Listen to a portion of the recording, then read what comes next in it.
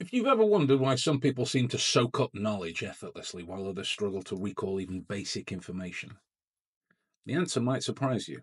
It's not IQ, it's not genetics, it's curiosity. Today, let's explore the neuroscience of why most curious people remember best and how to activate that power in your own memory training. When you're curious, your brain does something remarkable. It lights up the dopaminergic system, the same one that activates during reward, pleasure, and learning. 2014 study published in Neuron found that when curiosity is high, the brain shows increased activity in the hippocampus, your memory center, and in the nucleus accumbens, your reward system. Translation Curiosity literally makes your brain hungry to remember. It's not just about what you're learning, it's about how much you want to know it. Here's the psychological advantage curious people ask more questions, and every question acts like a mental anchor. It turns a piece of information into a story, a puzzle, or a reward. This taps into elaborative encoding,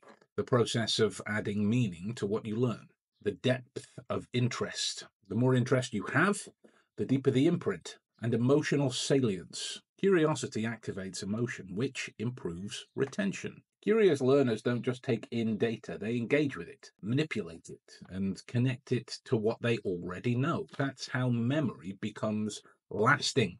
Here's how you train it turn facts into questions. Instead of the hippocampus controls memory, ask why does memory rely on the hippocampus? Curiosity reframes facts as mysteries.